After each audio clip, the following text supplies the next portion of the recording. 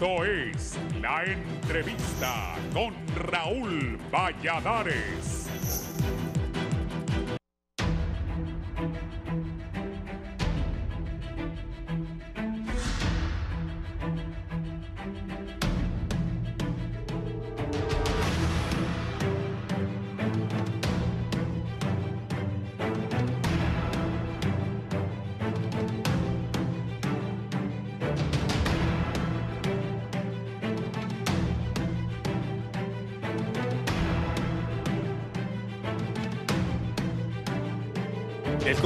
Se muestra indeciso en aprobar los casi 1.500 millones de lempiras que solicita el CNE para desarrollar las elecciones primarias. Según el titular del Poder Legislativo, Luis Redondo, le parece extraño que para las internas del año 2021, de acuerdo al propio órgano electoral, costaron 600 millones de lempiras y tuvieron un presupuesto de 900 millones, restando por ejecutar 300 millones de lempiras. En estas elecciones primarias del periodo anterior, fue solicitado por el Consejo Nacional Electoral 900 millones de lempiras.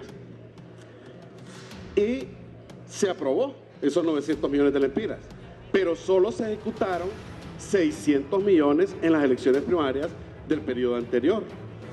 Es decir, que quedaron 300 millones. Y ahora se está pidiendo casi 1.500 millones. Por 8 millones no son 1.500 millones.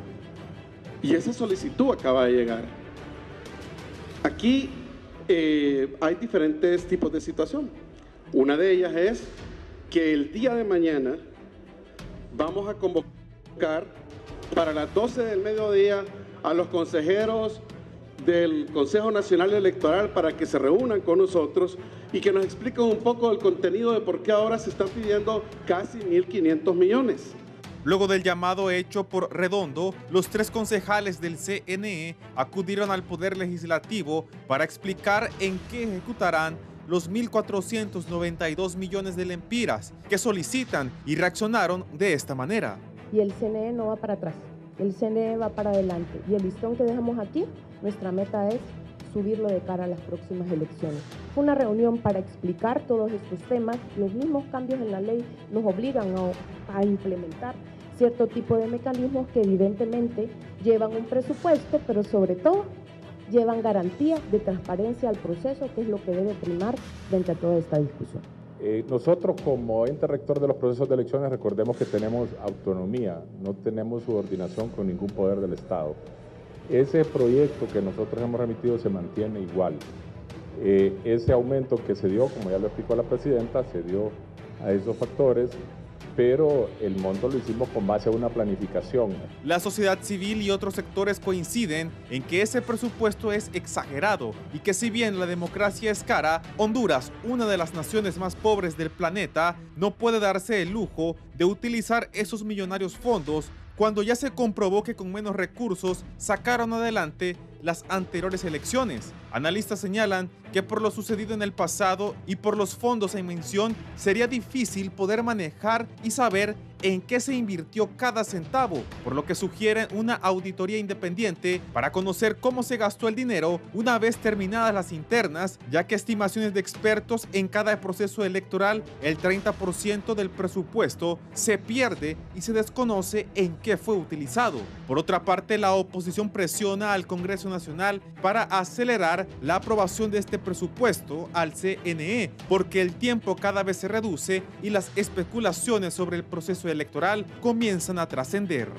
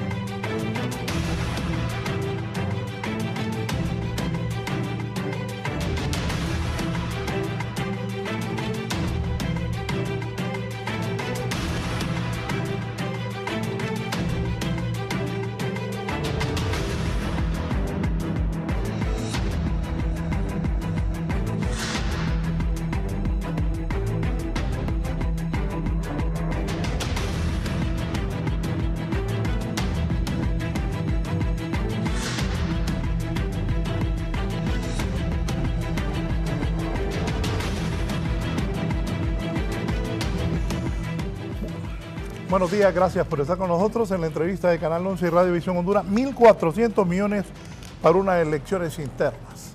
Eh, hace poco estuvo aquí el comisionado Julio Navarro del Consejo Nacional Electoral y me acuerdo que Julio decía que era un montón de dinero para unas elecciones internas donde la disputa fuerte al parecer va a estar en el Partido Liberal de Honduras y eh, que el Partido Nacional, Ana Hernández, Jorge Zelaya y, y y en libre la abogada Rixit Moncada con Racel Tome. Bueno, pero aquí tengo a los invitados para que hablemos si es correcto que un país tan pobre como Honduras se gasten 1.400 millones en elecciones internas. Eh, bienvenido, don Germán Lobo, Consejo Nacional Electoral. Buenos días. Muy buenos días. Es un placer estar aquí con, con todos los amigos y, y, a despejar cualquier duda que exista sobre materia electoral. Don Denis Gómez es magistrado del Tribunal Supremo Electoral. Raúl, buen día a usted, a su audiencia y a los contertulios de esta mañana. Don Hernán Guevara, diputado al Congreso Nacional por el Departamento de la Paz por el Partido Nacional de Honduras. Muchas gracias por la invitación, muchas gracias por tenerme aquí para poder debatir y eh, con nuestros argumentos poder fortalecer la democracia. Eh, don Dexter Mejía, diputado por Libre en el Departamento de Cortés. Dexter. Gracias Raúl Valladares por la invitación y ansioso de poder eh, estar en esa socialización de un presupuesto tan amplio y que sean los concejales del CN que nos expliquen por qué tanto dinero para un interno. Don Marlon Lara, doctor, diputado liberal. Muy buenos días Raúl, un saludo a todo el pueblo hondureño y un saludo a mis compañeros que este día pues vamos a tener una discusión eh, que va a permitir fortalecer eh, los argumentos que tienen todas las partes sobre este presupuesto que ha sido solicitado por la bancada del Partido Liberal para el Consejo Nacional Electoral. Está pegado a la realidad de Honduras este presupuesto de casi 1.500 millones de lempiras por unas elecciones primarias, diputado Hernán Guevara. Bueno, por 8 millones no son 1.500 millones, ¿verdad? Eh, de lo que se, se, tuvo en el periodo pasado, eh, 900 millones, o sea, son 600, casi 600 millones de lempiras al incremento. Esperemos que con los expertos en la materia que nos eh, den más información, pues y ver nosotros si, si realmente eh, eh, cuando se agende para que podamos discutir, discutir ese presupuesto tenga, tengamos los argumentos para poder este, debatir y ver de qué forma podemos rebajar ese presupuesto, pues, porque así se, se escucha bastante alto para, para unas elecciones internas. Sí, eh, Marlon. Bueno, mira, el proceso de las elecciones internas en los partidos fue una iniciativa del Partido Liberal, inclusive fue en 1988 que se llevaron a cabo las primeras elecciones para elegir las autoridades de partido. Esto era producto que antes los cargos de elección popular en los partidos se hacían de dedo, se nominaban en convenciones y había mucha inconformidad. Este fue un una ley para poder modernizar los partidos y ampliar la, participación ciudadana y desde luego democratizar los partidos. No quiero decir con esto que ha sido un modelo perfecto, pero es la democracia que tenemos y si el Consejo Nacional Electoral ha solicitado recursos para este proceso electoral primario, que creo que es el más costoso porque es donde participan más corrientes, por ejemplo, en el Partido Liberal ahorita hay cuatro corrientes. El Partido Nacional tiene cinco. Libre tiene dos. Tenía tres, pero ahora solo tiene dos. Entonces, la elección interna tiene que ser más costosa que la elección general, porque en la elección general, en la elección general solo participan los partidos que ya están constituidos y no hay corriente. Entonces, creo que ese es un argumento válido por parte del Consejo Nacional Electoral para justificar el por qué están pidiendo ese presupuesto. Ahora, las democracias cuestan caro. Si queremos un proceso transparente, tenemos que entender que, cuesta recursos. Y, y, si a nosotros los hondureños nos gusta vivir en democracia, tenemos que entender que esto es parte de la cultura que nosotros tenemos. Lo que sí queremos que se garantice por parte del CNE es que el proceso va a ser transparente que se va a respetar la voluntad de los ciudadanos en la urna y eso tiene que ser el argumento para que ellos justifiquen ese presupuesto. Sí, eh, don Denis Gómez. Bueno, Raúl, en realidad eh, el tema de la democracia, como se maneja en el campo, eh, toda inversión es, es, que vaya a la democracia es cara, ¿verdad? Eh, por efecto, hay condicionantes que le ponen a pensar, ¿es válido o no es válido pedir tanto dinero en un país que es precario? Bueno, es válida la, la observación que usted tiene. Lo que nos indica es que hay temas que eh, lamentablemente cada cuatro años se tienen que discutir porque no hay una decisión política al respecto. En ese tema, creo, Raúl, el país debe considerar y hacer análisis serios, no, no, no técnicos, no solamente políticos, técnicos, en el sentido de cómo tenemos elecciones primarias internas y cómo tenemos elecciones generales de acuerdo a presupuestos que si no van a ser tampoco paupérrimos, pero sí eh, verdaderamente vayan al logro de los objetivos. ¿Y cuál es el logro de los objetivos? Bueno, eh, el tema de la democracia que tenemos, la democracia que tenemos la vamos a cambiar cuando nos comprometamos todos de manera técnica y política para que podamos cumplir con indicadores internacionales que determinan elecciones cuando son auténticas y democráticas. Es que elecciones no solamente es hacer elecciones, hay indicadores. Algunos valoran los indicadores, yo valoro los indicadores porque son técnicos, pero a otros definitivamente no le, no le, no le dan ninguna intención, ningún interés. Pero eh, eh, en este caso, ah, recientemente ha sido publicado el índice global de integridad electoral por el proyecto de integridad internacional y nosotros logramos un mejor avance después del 2021. Estamos en posición 56 de una valoración de 100, pero se hace poco esfuerzo si este dinero va a ir orientado a mejorar el tema de transparencia y de integridad electoral, que bien. Pero si no se logran hacer avances, y ya voy concluyendo, en el tema de cómo... Eh, las elecciones primarias. Preguntémonos, no, no contestemos, ¿verdad? Solo preguntémonos, ¿verdaderamente ha mejorado la eh, democracia interna en los partidos políticos? Yo tengo tres puntos suspensivos y creo que el país todavía necesita una ley de partidos políticos, además.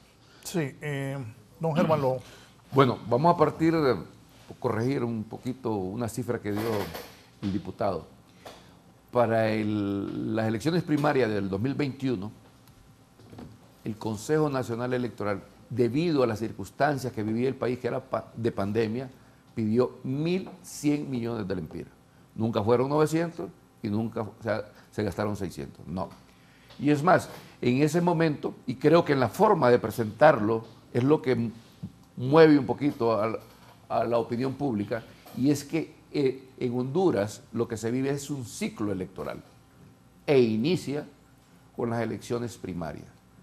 Y es ahí, partiendo de esa, de premisa, el Congreso Nacional de aquel momento no le aprobó los 100, los, los, los, mil, los 1100, le aprobó 1.700 millones al Consejo Nacional Electoral, de los cuales hizo uso de 900 millones. ¿Y por qué no gastó los, los, los 1.100? Porque en esas primarias no, no hubo un sistema de transmisión de resultados preliminares. Y solo ese, solo ese sistema, la contratación de la empresa le cuesta alrededor de, 150 millones de lempiras al Estado de Honduras. Partemos de ahí. Ahora vengamos al escenario. Nosotros solo damos una frase, primarias, pero no, son tres elecciones en una. A cada partido político hay que darle todos los suministros, toda la logística, por aparte. Una urna para el Partido Liberal, una urna para el Partido Nacional y una urna para Libre. Ojo, y la convocatoria es para todos los partidos debidamente inscritos. ¿Qué tal que todos los partidos dijesen, vamos a participar, todos vamos a hacer nuestras primarias? Sería otro escenario. Y siempre previendo ese tipo de escenario, se pone algo más de presupuesto, porque nos puede aparecer un partido que no son los que tradicional van a elecciones primarias. Y después que se aprueba el presupuesto de su ejecución, y si queda algún saldo, se deja para las elecciones generales. Y para las elecciones generales el concepto es ampliación del presupuesto para terminar el ciclo electoral. Es cierto, estamos en un país que tiene precariedad, pero eso no nos, cuando vamos al mercado, no nos lo va a rebajar tampoco, porque ahí hay que ir a contratar tecnología, que son, a veces la mayoría son empresas de- internacionales, hay que comprar equipo que el, el país no lo produce. Bueno, que para las elecciones primarias tuvimos, tuvimos eh, problemas con la adquisición del equipo, que a última hora nos estaba entrando. Es más, el mismo día de las elecciones generales las estamos repartiendo, porque el mercado a veces no existe el equipo. Entonces, todas esas cosas hay que valorarlas y, y- y- y a mí lo siento mucho por lo que tal vez en este foro manifestó el, el licenciado Navarro, pero él es parte de los que toman las decisiones en el Consejo. Si no estaba de acuerdo, no lo hubiera aprobado. Ok. Yo pago impuestos y las empresas en que participo también pagamos impuestos. En este y en los anteriores gobiernos, la educación, la gente que, que medio puede, manda a los hijos a escuelas privadas, porque no creen en la educación pública. Aquí en la principal ciudad, Tegucigalpa, San Pedro, Ceiba, transporte público no funciona, no existe. Seguridad, no hay. Salud, en todos los gobiernos anteriores y en este, la gente pasa reclamando que faltan medicinas. E- Ese es mi punto, ¿verdad? Que un país tan pobre va a gastar esta cantidad de dinero. Ah, y siguen creciendo los partidos políticos. Varios partidos políticos quieren inscribirse, ya abordamos el tema el otro día aquí. Entonces es mi punto, ¿verdad? Porque los que pagamos impuestos, eh, que entiendo todos ellos aquí lo hacen igual que yo, eh, sostenemos todo esto. Y el país tiene otras carencias también. Nexer. Eh, perdón, Raúl, pero sí pagan impuestos y de repente la inversión podía ser menos en elecciones. Pero la exigencia que tenemos de la sociedad, por esa cultura de la duda, No es que yo soy la sociedad. No, no, por eso le digo. Es que yo, Sí, por e- yo soy la sociedad Sí. y le estoy planteando. Esta es una exigencia mía. Y el transporte, la salud, la seguridad. No, la no, por ahora le es- digo. No, yo soy la de- sociedad. exigencia que le da la sociedad Oh. al órgano electoral de tener elecciones limpias y transparentes también requiere traer lo mejor que, que se puede encontrar en el mercado para garantizarle al ciudadano el respeto a la soberanía popular. Sí, sí, lo que pasa es que es caro para un país tan pobre. Es mi opinión. Nexer.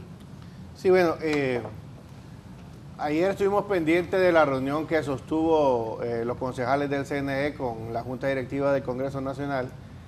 Eh, escuchamos los- claramente las declaraciones de Ana Paola Hall y de los otros dos concejales, donde eh, hacían pues alguna justificación por el aumento que había recibido eh, el presupuesto que fue enviado al Congreso Nacional eh, a 1.492 millones, como dijo el compañero Hernán Guevara, a 8 millones de 1.500, pero también eh, había una justificación que a mí me llamó la atención. Ana, Ana María Hall dijo que en las internas anteriores no se hizo uso del TREP, se hizo uso hasta las generales. Ahora eh, nosotros como Libertad de Refundación y creo que todos los partidos políticos eh, exigimos para garantizar la democracia y, la apertura de la participación de todos los ciudadanos que se sometan a la voluntad popular en las próximas elecciones primarias, que eh, podamos hacer uso de la tecnología de biometría, es decir, el uso de la huella digital. La huella digital, como sabe el pueblo hondureño, es única en cada ser humano. Nadie más va a nacer en, el mundo con mi huella digital y eso garantizaría que no sean los muertos los que estén votando, que no sean los familiares parecidos a uno que en Estados Unidos y uno tenga la identidad y quiere ir a votar, sino que garantice un poco más la democracia. Entonces, estos dos términos de la implementación de la huella digital y lo del TREP ya en internas, eh, aumenta cerca de 400 millones el, presupuesto de las internas anteriores. Entonces, eh, por eso les digo que una vez que se haga la socialización de presupuesto realmente como debe de ser, eh, nos va a ir aclarando un poco el panorama a los diputados que vamos a aprobar o, vamos a improbar este presupuesto y también a la ciudadanía le queda un poco más claro. Yo sí entiendo la postura como sociedad que tiene Raúl Valladares, y es cierto, hay, hay falencias en, muchas cosas, pero yo creo que la consulta al pueblo hondureño es una de las mejores formas para que ellos puedan expresarse. Mire, si al pueblo hondureño le hubiéramos consultado sobre la reelección ilegal que se dio y no fuera la Corte Suprema de Justicia que de dedo hubiera interpretado eh, de manera errónea la Constitución de la República violentando artículos petros, posiblemente el pueblo hubiera dicho que no hay reelección, o que sí, y hubiéramos evitado que un narcopresidente condenado estuviera cuatro años más. O sea, ¿cuánto le costó a Honduras que Juan Orlando fuera cuatro años más presidente eh, eh, en Honduras? es ah, decir, en ese eh, sentido... Por eso, ¿y cuánto se invirtió en esas elecciones? Otra millonada. Y de nada sirvió entonces. Y por eso, bueno, pero en este sentido tenemos que avanzar hacia la democracia, Raúl. Y en este sentido, ya con la justificación que está haciendo el Consejo Nacional Electoral, o sea, nos parece que una cantidad fuerte para la economía de Honduras, pero si es necesaria para garantizar de que sí sean los partidos políticos internos que elijamos a nuestros candidatos y no que se den las mañas que se han dado que van a votar en un partido un día, eh, en la mañana y en la tarde van a votar otro partido. Y yo le violentó la voluntad del Partido Liberal al, al mandarle gente de otro partido a que vote por otro candidato. Igual lo mismo. En el tema del sistema biométrico, garantizaríamos que sea la militancia o el voto duro, como se conoce, que ejerza el, eh, sufragio en cada partido político. Manejamos censo abierto. ¿Está pegado a la realidad de Honduras este presupuesto, diputado? Bueno, está alto realmente. Eh, no, tuve la oportunidad de estar en eh, lo que estaba este, la, discusión el día de los concejales. ¿Verdad? Pero sí, se, ve alto, pero eh, si se va a implementar otro tipo de, controles, como es el, control biométrico, que sí me parece muy bien a mí también, y también la transmisión de datos que no se dan en las primarias, primera vez que se, va a dar, eh, eso va a incrementar y está incrementando el presupuesto. Eh, vamos a esperar que se presenten al Congreso Nacional y se presente el presupuesto para poderlo discutir y ver de que, de que sí realmente se necesita. Y si no se necesita, pues como dicen, pasa para que se puedan utilizar en las generales. Eh, esperamos eh, que eh, con esto se fortalezca la democracia, porque la persona cuando va a ejercer su, su, su voto este, quiere que, que, realmente le sume ¿verdad? y que sea respetado. Entonces, si esto viene a fortalecer la democracia, yo creo que vamos a votar a favor de ese presupuesto. No hace falta mucho que podemos eh, que nos hace falta a nosotros en esa democracia pues, para poderla fortalecer. Eh, estuve invitado por el Foro de Madrid en, en, Guatemala como observador, las elecciones allá, fue, eso, eso, es una fiesta cívica. Usted llega y ahí están grupos bailando, música folclórica, algo increíble, algo que no pasa aquí. Aquí todos los que estamos en mesas, todos son, son políticos, son activistas de nuestro partido. Allá no, han, han, avanzado un poco más y eh, hay ciudadanización de las mesas. ¿Verdad? No, no son eh, personas que pertenecen a algún partido político. De repente sí tienen su corazoncito, sí, pero no son activistas de los partidos políticos como pasa aquí en Honduras. Hay muchas cosas que eh, vamos a tener que ir cambiando, ¿verdad? Y ojalá que no sea un futuro no muy lejano, ¿verdad? El voto electrónico, eh, el, balotaje, ¿verdad? O sea, la segunda vuelta en el futuro, ojalá que se, se logre dar. reformas no podemos darlas de aquí a lo que falta para las las internas, pues estamos de este día a un mes, el 8 de septiembre creo que ya se da por parte del CNE la apertura a las elecciones internas y, para, para, el 9 de, marzo del próximo año. Entonces, este, hay mucho que debemos mejorar y si el presupuesto viene a ayudar a fortalecer la democracia en el país, pues vamos a votar a favor de ese presupuesto. Don Ricardo Castro Gómez dice, los políticos decidieron pagarle a los suplentes, cosa que no se daba anteriormente, y los congresos gastaban y gastaban a manos llenas. No aprueban la ley de justicia tributaria donde solo un grupo recibe 2.500 millones anuales de exoneraciones. Cada día estoy más seguro que los políticos son una raza aparte, una raza aparte. Solo piensan en ellos y los demás les valemos guango. Lo peor es que la gente continúa votando por los mismos. Pobre Honduras, uno de los países más pobres en el mundo y ojalá no salgan otra vez con los votos rurales. Gracias, don Ricardo. Aquí dice Don Lito también. Eh, la gente está dividida en esto. Esa visión de los políticos tradicionales es muy corta. Incluso ellos viven de eso. Las elecciones son una actividad económica muy importante para el pueblo desde el punto de vista económico, no solo electoral, dice Don Lito, y el abogado Padilla, criminólogo, ya basta de ese exagerado despilfarro de un recurso en un proceso interno que beneficia solamente a tres partidos políticos. Exijo reforma legal y conciencia de país para que sean los partidos los que vía convicción elijan sus representantes. Diputado Lara. Bueno, ¿Qué, debe hacer era- el Congreso? Era, era lo que yo te decía, Raúl, que antes los partidos elegían en convenciones y había insatisfacción. Entonces, a raíz de eso, fue que el Partido Liberal inició y en 1987, creo que fue las elecciones primarias, o, o 1988, donde participaron creo que seis candidatos del Partido Liberal y el ingeniero Flores fue elegido como el presidente del Consejo Central Ejecutivo. Fue la primera elección interna para elegir autoridades de partido. Ya después se hicieron elecciones internas para elegir, elegir los candidatos, porque hay que recordar, Raúl, mucha gente que está viendo el foro no, no conoce la historia del país.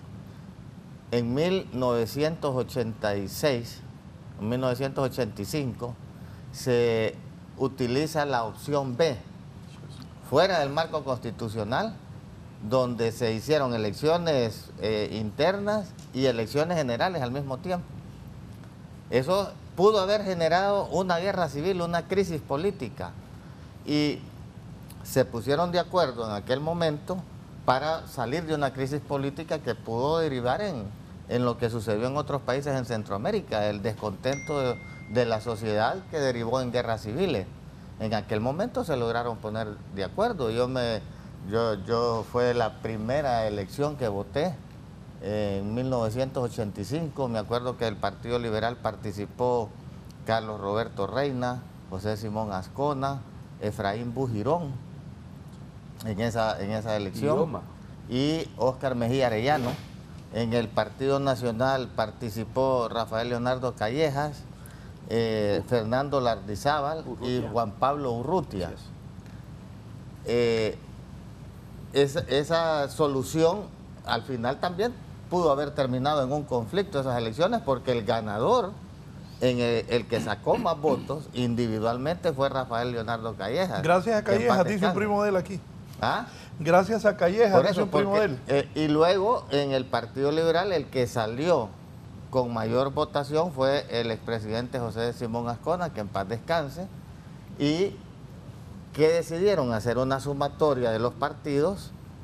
Al final, la madurez del expresidente Callejas, que dijo, ganó el Partido Liberal, yo respeto ese triunfo, y se pudo llegar a un acuerdo que terminó también en un consenso para que el Partido Nacional tuviera la Corte Suprema y el Partido Liberal el Congreso y el Poder Ejecutivo. Entonces, ahí podemos ver cómo no tener una salida que le permita a la gente expresar su voluntad puede derivar, en un conflicto que no, no sabemos las dimensiones que puede tener. Pero bien, en este proceso electoral debemos de ser conscientes y claros.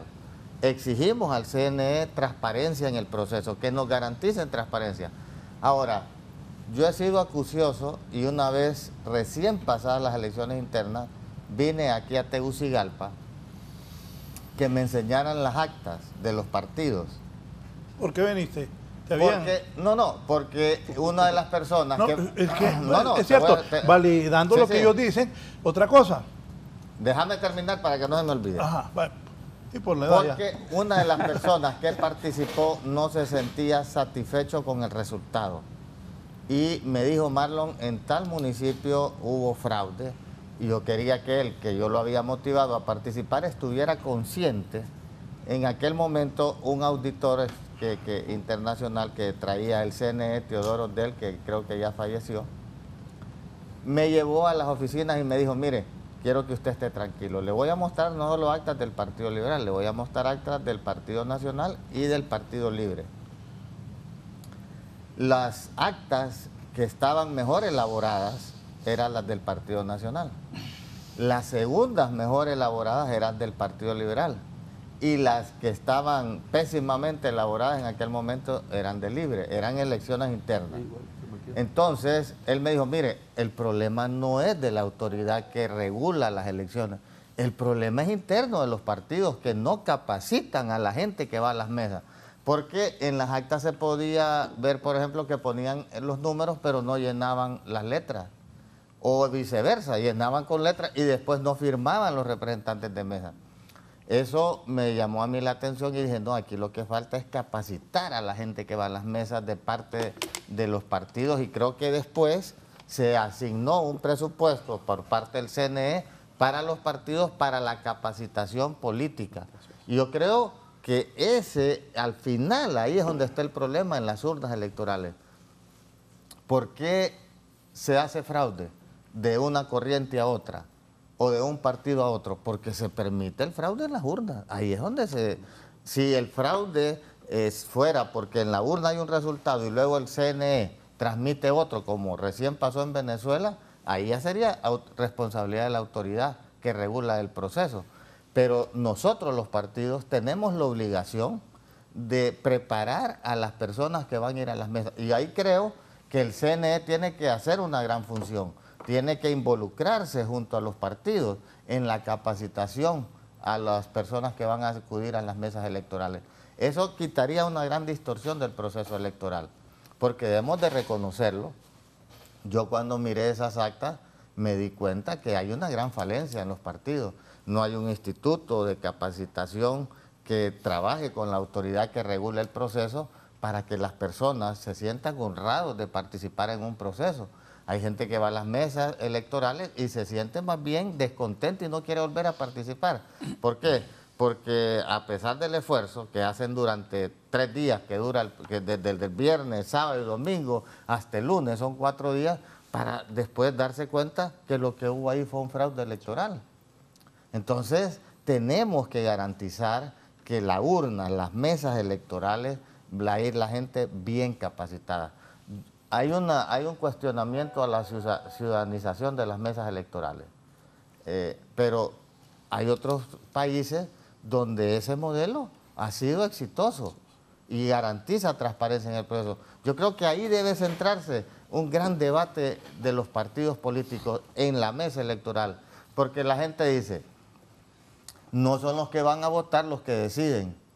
¿Quiénes son entonces? Los que cuentan los votos. Esos son los que deciden. Porque si quieren hacer fraude en la urna y se ponen de acuerdo todos, el resultado no va a ser el, de la voluntad popular, va a ser el de la voluntad de ellos o el acuerdo que ellos lleguen. Entonces yo creo que en torno a ese tema de la mesa electoral hay que hacer un verdadera, una verdadera reforma que nos garantice que el proceso es transparente.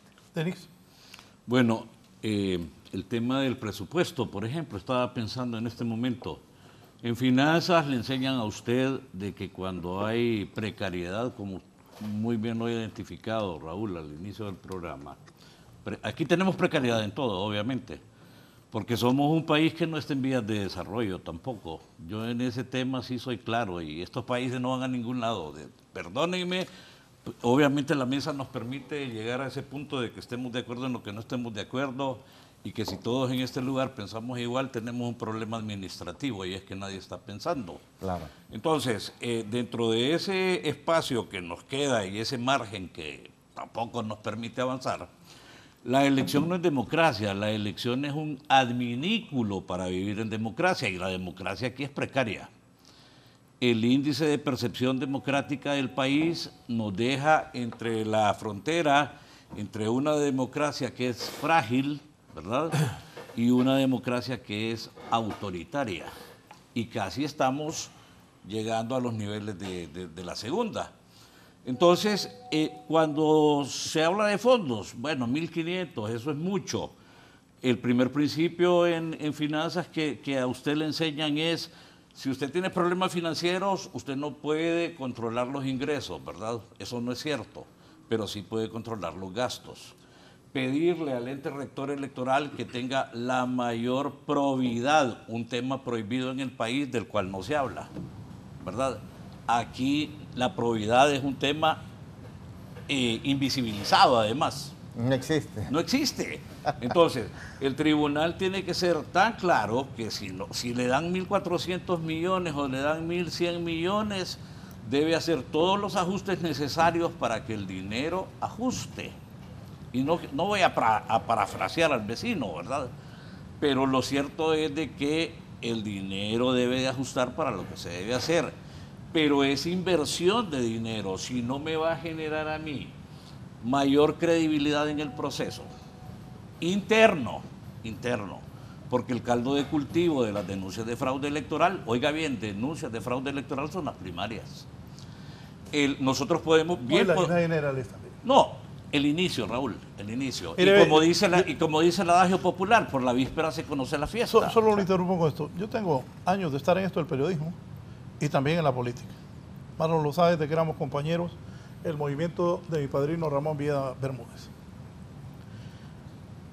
No salen en la interna y en la general también, corriendo a Tegucigal para hablarle a Mel Zelaya, a Carlos Flores, a Papi a la orden, al que está de turno del líder del partido, que lo meta. No importa lo que el pueblo decidió en la urna, Sí, sino correcto. que lo metan. Bueno, yo me acuerdo, he sido testigo, no hombre, si es que se está en la cola, no se le puede meter. Así ha sido este país. Sí, Es correcto. Todas esas esa experiencias. que- esas experiencias que- son válidas, evitar, pero, hay- pero, hay que evitar. hay que pero es estoy de acuerdo, ese es un punto válido en lo que debe ser la transparencia de las elecciones, porque todavía en la última elección, varios diciendo que los metieran. Sí, sí. Pero Raúl, pero Raúl, mire, el tema es el financiamiento. Entonces, ese financiamiento, vuelvo con la pregunta, con, lo que dije al inicio, en la primera intervención. El, el costo de la elección me va a permitir mayor democracia interna en los partidos políticos y conste, ¿verdad? Tres van a ir porque hay competencia, pero a los partidos que no van a la competencia les van a obligar, según la ley, ¿verdad? Que le llaman además de la transparencia, porque la anterior era la ley del fraude, y para mí el problema no es de leyes, señores, el problema es de la gente que administra en primer lugar y después de la gente que tiene que someterse a la ley. Y aquí lo que nosotros tenemos, históricamente hablando, desde un bicentenario y más, es una incontinencia al irrespeto de la ley que se traduce en impunidad impune, como también yo llamo. Hermano. Entonces, Mire. so- solo cierro, solo cierro. Entonces, en ese punto, Disculpe, creí que ya. en ese punto, eh, yo creo que hay que pedirle al tribunal la mayor probidad posible, la mayor rendición de cuentas de un proceso electoral, porque cierro con, con el tema de Raúl. Los impuestos que usted paga y que pagamos los que estamos aquí y los que pagan, los que pagan están al otro lado de la pantalla, esos son impuestos y lo público debe ser público, dice un, principio de transparencia. Mire, el tema de democracia no solo depende del, del órgano rector que administra, depende del proceso interno y el trabajo interno y educativo, cultural que tenga al interior de los partidos políticos. Y refiriéndonos a las primarias, quienes administran el proceso primario son los partidos. El ente solo es el apoyo logístico del proceso, porque los partidos políticos organizan sus juntas electorales nacionales, departamentales y municipales. Y es ahí donde la estructura de sus movimientos deben de tener la capacidad de integrar esos órganos. La mesa electoral la administran los movimientos. Y si un movimiento no tiene capacidad de tener un representante en la mesa, le va a ir chuco. Porque todos, lastimosamente, al que usted manda a la mesa, le responde a usted. No le responde a la democracia, le responde al movimiento o al partido que lo manda. Y el órgano, y el órgano no cuenta los votos. Solo recibe y computa las actas. Y considera y no duda de la fe pública de los funcionarios que estuvieron en esa mesa. Diferente fuese, como en otros países que lo han desarrollado bien y que he tenido el gusto de verlo, que los miembros de la mesa le responden al órgano electoral. Y los miembros de los partidos solo sirven como auditores. Y que al final del cierre de la votación todo el mundo cuadra. Él lleva su cuenta y el órgano a través de sus miembros lleva su cuenta. Y tiene que cuadrar con las papeletas que están dentro de la, de la urna, ni una más ni una menos. Entonces, es aquí que hay que hacer un trabajo interno a los partidos que se democraticen, exigen democracia, pero al interno no la tienen. El caudillo de repente o el que, el que maneja el partido hace su jugada, mete y saca para efecto de- en las internas para efecto de su representación en las elecciones generales. Y es más, no es necesario ni eso. Porque usted va a primarias, saca los candidatos de su partido que vayan a las generales y en una negociación usted aparta uno y pone otro que nunca participó. Entonces creo que hay que hacer un trabajo muy fino al interior de los partidos. Y en cuanto a la capacitación, es otra conciencia que tienen que generarle. El órgano electoral siempre ha pedido un enlace en materia de capacitación con los partidos, siempre se le da. Y siempre el órgano electoral, por lo menos, por lo menos la última elección, le capacita a sus instructores y les da recursos. Pero en ocasiones esos recursos, en vez de usarlo en la capacitación, lo usan en la campaña. Son cosas que hay que ir mejorando. Diputado Nexer. Sí, mire, el tema de la democracia es bastante sensible. Es bastante sensible porque aquí muchas veces se ha satanizado el tema de consultarle al pueblo hondureño. Bueno, al presidente Zelaya le da un golpe de Estado por querer hacer una consulta popular. Que nunca llegó y solo sacaron presunciones de que se quería quedar en el poder, que esto y que lo otro, pero nunca se llevó a cabo la consulta. No se le permitió y se le dio un golpe de Estado. Entonces, aquí la democracia tenemos que defenderla tenemos que avanzar en la misma. El fraude no se da en la urna, como creo que pues lo mencionó eh, el amigo Marlon Lara. El fraude en la urna se da en la participación ciudadana. El fraude se da en el llenado del acta. En la papeleta y en ese eh, modelo arcaico en que seguimos en Honduras. Nosotros tenemos que avanzar hacia el voto electrónico. Olvidémonos de los eh, modelos de otros países, porque no van a sacar el tema de Venezuela, que el voto electrónico como Venezuela no. Avancemos en el tema de la ciencia del voto electrónico, que en teoría es un método seguro, en el cual eh, se debe garantizar una mayor transparencia. Ahora no hay tiempo, no es una reforma que, se puede plantear o es viable en este momento para las internas o para generales, pero sí debemos de apostarle a lo que yo mencioné desde un inicio, la biometría. Y el tema de la huella digital para que evitar que sean los miembros de mesa que pongan a llenar los cuadernillos electorales, a firmar y a poner huellas digitales de los diferentes dedos de las manos para poder justificar elecciones internas infladas, que es lo que ha, sucedido en muchos partidos. Sí, mire, la elección interna es tan importante, muchas veces cualquiera piensa que es un ejercicio eh, que no es tan importante, pero en las elecciones internas, un ejemplo, Libre, Libre tiene eh, cinco movimientos. De los movimientos que Libre tiene, cuatro estamos apoyando a la compañera Rixi Mucada. Pero está el movimiento Morena que lo impulsa el diputado Racel Tomé, que es candidato presidencial. Nosotros, en las otras corrientes, vamos en una sola cabeza a la presidencial, pero vamos a elección con cuatro papeletas diferentes de diputados Y con- alcaldes. y- y alcaldes. Nosotros como partido somos el único partido político desde su creación que mantiene tres eh, movimientos o tres corrientes internas permanentes. Son como tres partiditos dentro del partido. Ah, nosotros tenemos tres movimientos diferentes a los partidos nacional y liberal que eh, resulta el, movimiento según el candidato presidencial que se lanza, forma su movimiento. Nosotros mantenemos una estructura, seguimos trabajando sin tener candidatos. Ah, Yo represento un movimiento que es el M28 en, en- Libre. Y nosotros en, en Cortés hemos trabajado sin tener candidatos a alcaldes, sin tener definido un candidato presidente. Ahora ya lo tenemos definido con Rixi Moncada, pero siempre hemos mantenido la estructura.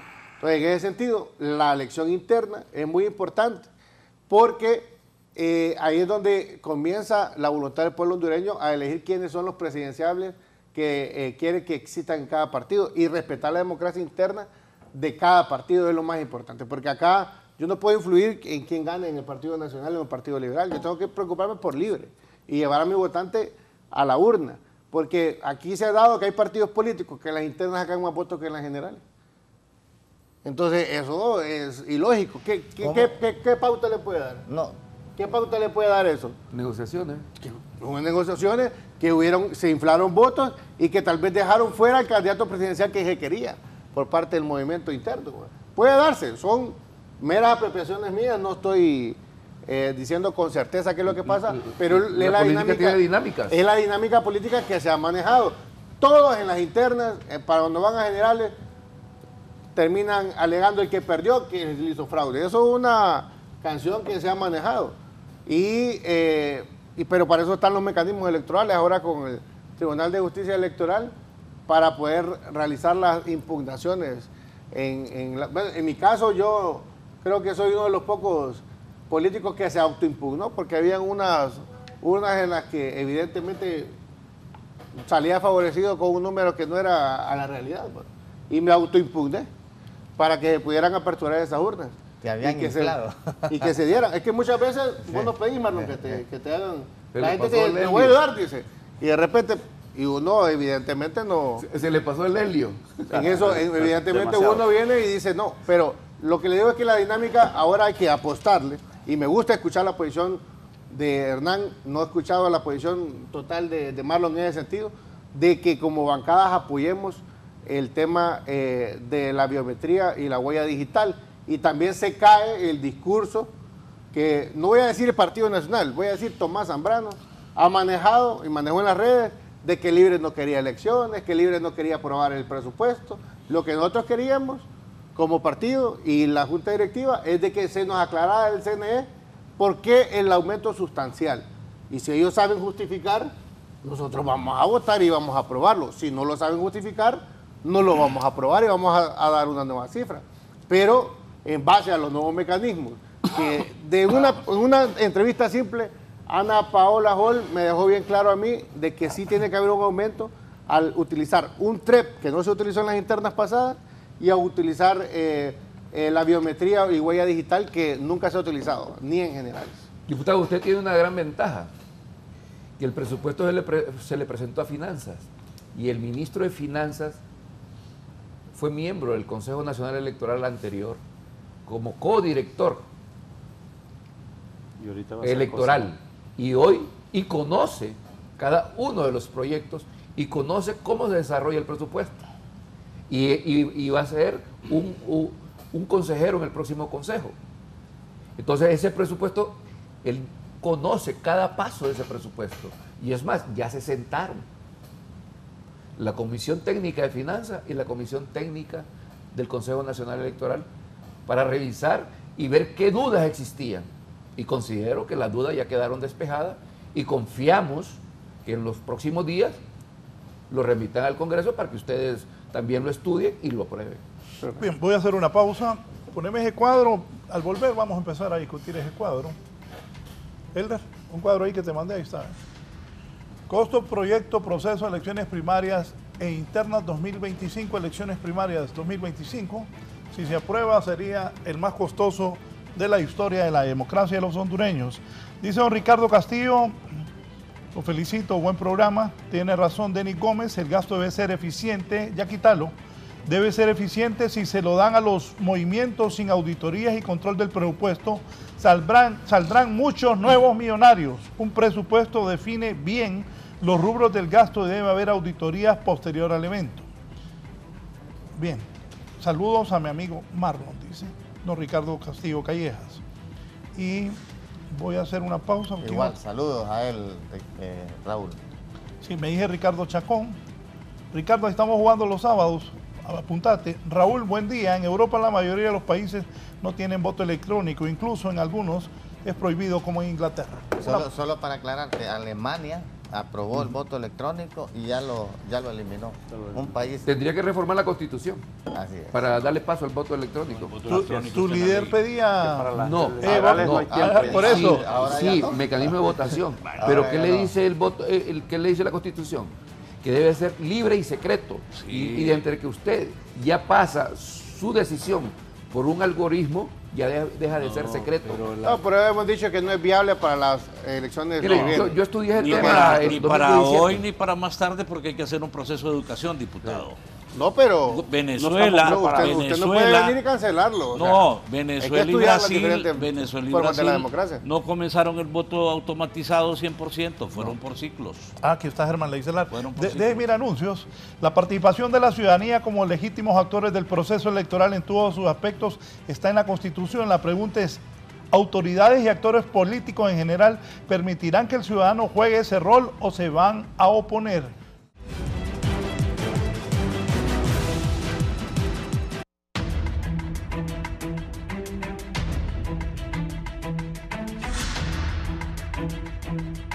Bien, aquí me dice Iris. Por aquí está, aquí está, educación. Buenos días. Solo para reflexión, imprimir los libros de texto para todo el sistema educativo representa aproximadamente 300 millones de lempiras. ¿Cuánto se gasta en imprimir papeletas? Eh, bien. Poner el cuadro para ver cómo va a estar la cosa. Acércate al televisor. O agrandar la pantalla como la de Canal 8 que tenemos aquí. Ajá, los veo que no tenían ese cuadro. ¿ah? Ahí está. Actualización de la edición política geográfica electoral 36.659.749. Has aparecido primero, va con eso. Ni los 2.599.000 actuación censo nacional. Va, Denis, explíqueme. Yo le cedería el hombre No, que es el no, que presente eso. Ahí está cada, lo que cuesta cada rubro. Digamos, eh, la actualización, la división política, hay que salir, eh, viajar por todo el país, eh, viendo los centros educativos, si tienen conectividad eh, de internet, si tienen luz, hay accesibilidad, si hay que generarle... Es más, se está, con- se está con- eh, previendo que de, al- de hacer hasta plataformas para la, la gente con discapacidad. discapacidad. Un call center de 32 millones. Este para recibir cualquier eh, información durante el periodo de la elección. Y la pregunta que hacía la, la ciudadana estaría en los documentos electorales. pues. Sí. 431. Reduciría, reduciría si, si fuese voto electrónico. Porque ¿Y usted cree que la tecnología es barata? Sí, no, no, yo- seguridades. sí, entiendo, pero, o sea, digo, Yo creo, yo creo, yo creo que con voto electrónico le sale más caro. Pero una sola inversión, porque eso servirían para la siguiente, ¿o no? No, cada software, mire, No, va actualizando el software, pero Eh, las máquinas y todo queda, mire, queda en mire, uso. Usted- es más, con el lector biométrico que usted tiene ahorita, 2021. del Lo 2021, utilizado 2021. usted puede hacer todo eso. Pero solo, a, a veces no es el aparato, a veces la tecnología que usted tiene que comprar, las seguridades que usted tiene que Sí. comprar. Y hay que revisar la cobertura que hay de internet en el país. Sí, bueno, más Nosotros tenemos alrededor ¿eh? de 1.500 centros de, de votación que no tienen ni, ni energía eléctrica ni cobertura para, para hacer las transmisiones. Usted lo mira Ahora- así, pero es más caro. ¿Sabe Expli- cuál Explique so- solo una cosa. Refuerzo áreas administrativas, ¿cuánto? Un mi- 141 millones. Es que ahí se contrata personal. Refuerzo áreas administrativas, no. sepa qué es eso. 141 millones. Las nuevas contrataciones. Contrataciones de personal. Hay que tener gente en la bodega armándole las maletas, recibiendo sus maletas. Sí. Y es- son, es- tres, son ele- sí- tres elecciones. Porque es, como usted decía, es algo cíclico. En ese Sí. momento se necesita contratar a ese personal. Los Ahora- capacitadores, que son mucho Ahora más. miremos, miremos un tema. Eh, viendo las elecciones de Venezuela, eh, argumenta- no solo quiero decir, argumentaban que el Consejo Nacional Electoral de Venezuela es de los mejores del- de, de Latinoamérica. Oí varias, eh, varios eh, analistas hablando que era un, un, un CNE que era admirado porque se blindaba de fraude. Marlon, esa crisis que vive Venezuela ahorita, nosotros la vivimos en el 2017. Y debido a esas circunstancias, la estructura o el sistema electoral hondureño es totalmente diferente. totalmente diferente. No, pero solo lo, que a mí me llama la atención es cómo si ellos eh, hablan de que tienen un CNE que eh, eh, permite que haya transparencia, democracia, ¿cómo es posible que el pueblo fue a votar por la oposición, pero el resultado que da el CNE... Y que el problema no es el sistema, sino quién lo administra. Por eso, ahí, ahí es donde nosotros, ahí es donde nosotros Ahí tenemos donde creemos que per- debe haber nunca confianza. permitir que en Honduras se vaya a dar eso. Y si- que la que- voluntad popular No, sea una y los resultados que Pero están- ya, ya se dio, Marlon, en el 2017. Marlon, sí. en el 2017, en siempre el mismo día de las elecciones a las 10, 12 de la noche, estábamos diciendo que eran al presidente. Aquí se tardaron 30 días, que es lo que la ley permite, el Consejo Nacional Electoral, para darle vuelta a todo. A mí, cantidad de nacionalistas me escribieron felicitándonos por el triunfo. No, Sí, pues, lógico, ya, ¿no le ya- robaron o ya no le vamos a- seguir en la discusión. Poneme el presupuesto que quiero que el pueblo hondureño Volvamos se dé cuenta Que de los fraudes de Honduras, preocupado por, Venezuela, poneme aquí hemos hecho más fraudes que mandado. Acércame, porfa, el, el televisor aquí. Bueno, y la preocupación bueno vale, que Aquí hay hay que dedicarnos al- 435 Lo bueno. Millones para Documentos electorales. documentos electorales, 475 millones. Pongan atención, hondureños, ¿en qué gastan el pisto? De los que pagamos impuestos. 176 millones centro logístico, 141 millones refuerzo áreas administrativas, eh, 36 millones actualización de la división política geográfica electoral. Bueno, así, si nos explica, por favor, don Germán. ¿Cuál? Eh, actualización de la división política geográfica electoral, 36 milloncitos. Eso es que, hay que mover todo el recurso humano al interior del país, eh, municipio por municipio, departamento por departamento, aldea por aldea, eh, supervisando y actualizando los centros de votación. Y en primaria especialmente hay que ir a condicionar tres, tres espacios. Es decir, darle espacio a los liberales, a los nacionalistas y, y a los del libre. Y cada, a cada partido se le instalan alrededor de 9 mil centros de votación. Ve, 9.000 perdón, urnas a nivel 9 mil urnas, perdón. Entonces todo esto hay que salir al campo porque como se lleva tecnología para el efecto de transmisión de las actas, hay que llevarle, y, y por, también por el biométrico, hay que ir a identificar si tiene energía eléctrica, si tiene cobertura y una serie de... Raúl, pero el número que nos debe llamar la atención, el más alto ahí, ya lo viste, ¿cuál es? ¿Cuál es? Ajá. 435 millones. Sí. La impresión de las papeletas. Documentos electorales. Documentos electorales, ahí Por eso preguntaba va... yo. ¿Dónde están los No, ahí- Por ahí- eso preguntaba yo que si, que si, que si el Ya voto electrónico to- to- un bajaría. amigo tuyo diciéndome eso. Son 28 mil papeletas por cada, por cada nivel electivo. Más los cuadernillos electorales. Más los Es cuadernos electorales, más las ¿Sabe actas. por qué dije? Porque Raúl está viendo los cacahuates, 32 millones. Le la No, y, y- y- y miremos el 3. ¿El 3 cuánto le cuesta ahí? No, sí, había dicho No, también de la tra- 319. transmisión de resultados, 319 millones. Es 319. lo, que más, es lo, lo más grueso. Sí, y la biometría, Pero que también ¿sabes ya es? ya, O sea, och- eh, ¿sabes ya raro? prácticamente 400 millones. en transmitir los resultados y te das cuenta dos semanas después. No, No, no, yo lo que digo, ¿sabe qué? ¿Sabe qué? No tengo problema, la democracia cuesta, pero que sea eficiente. Sí. Que nos garanticen transparencia en el proceso electoral. Eso es lo que está demandando. Eso es lo que Raúl dice, pagamos impuestos, pero que, que sea eficiente, que sea transparente, que realmente se refleje la voluntad popular.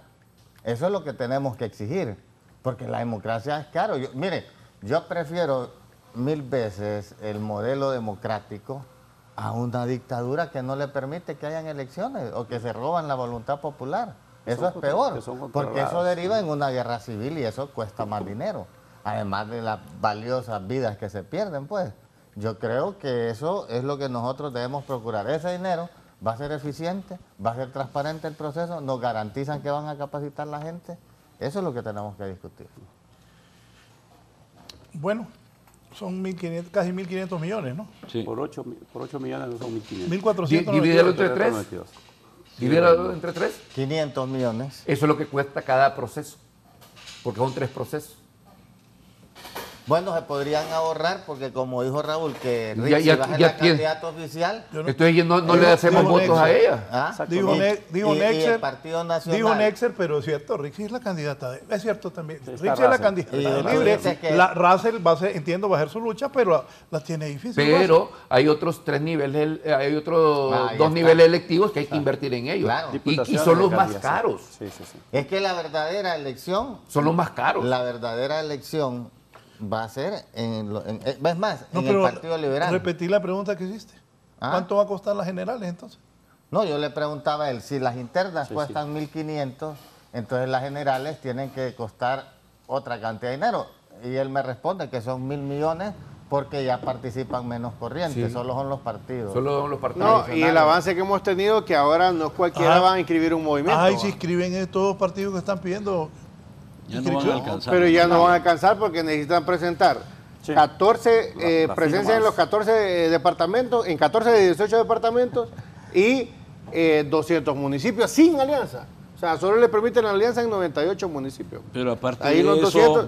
Antes, antes un ejemplo, le voy a dar un ejemplo claro, pues antes pues, en, en Libre, la vez pasada vieron 14, creo, corrientes con, con, un, con un Ávila, un- un- Y- que y- no tenía ni la gente para que le cubriera la mesa electoral, con un Wilfredo eh, Méndez. Wilfredo Méndez que hoy se fue, va, que ese siempre, siempre ha sido tránfuga, eh, que no- nunca pudo llevar las personas a la mesa electoral. Este, un movimiento que no pueda poner la presencia en la mesa electoral de sus miembros es un movimiento de maletín que ha sido utilizado, pues, o que quieren negociar después una cuota de poder, un ministerio, lo que sea. Hoy, con ese avance que hemos tenido con la ley, porque antes, ¿qué se, qué se decía? Que estábamos evitando, violentando la democracia, que no le permitimos participar. No, hombre, si yo no tengo la capacidad de organizar 14, 200 municipios y 14 departamentos, no tengo la capacidad para competir electoralmente. Entonces, que se haga un lado. Yo aplaudo, aplaudo que ahora sí se esté aplicando de esa forma eh, eh, la participación, porque no es que aquí la democracia tiene que ser que cualquiera que quiera ser presidente. y- y hay que exigirle, que y hay que exigirle que cada movimiento lleve las firmas que respaldan la inscripción Exactamente, originales, exactamente. que no vayan a hacer copias. Sí. De acuerdo. Que muchos, bueno. se- muchos movimientos se inscribieron con copias de firmas de otros movimientos. De acuerdo. Ojo. Totalmente. Originales y con un acta notarial. Pero el tema inmediato por el cual no van a probablemente a, a- a registrar, a autorizar para participación electoral de nuevos partidos políticos es porque el día que estos señores hagan la convocatoria se cierra el proceso de inscripción y de desinscripción. Ya. Entonces, lo- los, los, ¿se ampliaron los requisitos? Sí, pero el problema aquí inmediato se llama tiempo. Ya eh, yo recibí información desde el Consejo Nacional Electoral de que venía un- el Partido Verde, el Partido Orden y que venía el Partido Naranja. El Partido Naranja tiene como cuatro, tres, no, dos eh, procesos electorales donde quiere inscribirse. Yo no veo visos desde el Consejo Nacional Electoral de que va a haber antes del... ¿Cuándo es la 8 de El 8, septiembre? el 7 El 8 de van a ver el cuántos 8 partidos de septiembre, pero tienen que autorizarlo. Pero también hay un incumplimiento del artículo 149 de esta ley que llamamos de la democracia o de la transparencia, donde hay cinco partidos que no cumplieron con el requisito del 148 y no, va a pasar absolutamente nada. ¿Eso crea seguridad jurídica electoral? No. Y voy a aprovechar, antes de que se me vaya la idea, a decirles algo. Reformas electorales probablemente no van a haber, ni las que se prometieron, ni las que tampoco se prometieron, pero ya que tenemos a tres representantes de los partidos políticos que tienen la decisión para alcanzar los 86 votos, yo les sugeriría lo siguiente. Número uno, aprueben antes de la elección primaria, antes del 8 de septiembre, aprueben la ley de justicia electoral ese Tribunal de Justicia Electoral no puede ir con supletoriedad a, a- a definir lo que usted fue parte de beneficiario, ¿verdad? En el sentido de, de su recurso. Porque, porque no es posible tener un ente constitucional en la función electoral que no tenga ley contenciosa sino que está sacando de esta parte y saca de la otra, y qué bien que lo han hecho, pero los niveles de conflictividad en los procesos comiciales son fuertes, porque nada más y nada menos se está peleando el poder. primero, primero, el- y bueno, esa es una. Y la segunda ley que sí está al alcance de ustedes y de sus bancadas y de su gente que, que define la agenda, se llama la actualización, la revisión de la unidad de política limpia. Hay una denuncia de una organización civil que 30% del financiamiento de la elección 2021 se cerró, se clausuró sin rastro alguno. Yo fui diputado suplente y en el 2006, 2007, ahí en el Congreso se oían los rumores en el pasillo de que había financiamiento del narcotráfico, a la- pero era, "Ya te voy a decir esto, pero no le digas a nadie. Ya. Y después, en el juicio allá en, en Norteamérica, sale y se constata, no es posible que estemos eh, con una ley que le va a permitir la discrecionalidad de decir que 30% de ese financiamiento todavía no tiene ningún rastro. Bueno, la, la que ha, ha faltado también es un poco de valor la, de la aplicación de la actual ley. Sí, pero Porque cuando- la actual ley ya le da la potestad a la, a la unidad de política limpia de poder inhabilitar Pero a aquellos revisen. candidatos que aún hayan quedado electos y no hayan podido justificar Revisen eh, su campaña electoral. Pero también. Pero sí hay que actualizarla, diputado totalmente Mejía. Diputado Mejía, pero también es cierto que cuando estos señores le ponen a la gente la multa porque no dio sus informes, viene el Congreso, Mire, interpreta so- la le- ley solo y voy a dice, adelantar, no, no, no, no, le voy a adelantar un cosa". dato con esa ley. Como Comisión Anticorrupción, yo soy secretario de esa Comisión Anticorrupción, hemos sostenido reuniones con diferentes organizaciones internacionales y ya tenemos un, eh, un marco jurídico para plantear una nueva ley eh, para, para la política limpia, donde se ha actualizado con la ley de Colombia y se ha visto los avances que han, que han habido en España y en otros lugares que sí existe esa ley. Porque para mí, el primer filtro para evitar que el dinero del narcotráfico, crimen organizado, elevado de activos, se mezcle, se inmiscuya en política, es política limpia. Pero si realmente no están ahí solo de adorno, sino que van y ejecutan como debe ser la ley. Y si podemos ampliarla más. Y el tema de la ley es la ley procesal electoral, que usted había mencionado justicia. Es la, ley, que justicia sí, electoral, sí, ley procesal electoral Justicia. que ya, bueno, eh, la Comisión de Asuntos Electorales que preside Racel Tomé ha hecho giras sobre eso. Sí, y entiendo yo que va a ser sometida en los próximos días porque hay un cabildeo con la, con la bancada mayoritaria. Ahora, Ahí hay que, hay que ver un otro tema. oh, perdón, hay que ver otro tema ahí con la ley de justicia electoral. Ve, de, perdón, sí, Sí, hay que aprobarla que es procesal. urgente, pero con política limpia. Si usted le da la potestad política limpia de que alguien que no puede justificar sus recursos de campaña y que le da la potestad de inhabilitarlo, ¿usted cree que la van a respetar? Y no respetaron ni, ni una, ni una sentencia firme de la Corte Suprema de Justicia. Ese es el problema que tenemos en el país. Las decisiones que tenemos que tomar. Si- ¿Ante quién tiene que presentar política limpia la inhabilitación de, de un diputado? ¿Ante quién? Entonces esas son cosas que hay que definir, porque Sí. tenemos diputados, Sepárenlo. tenemos diputados que están inhabilitados jurídicamente.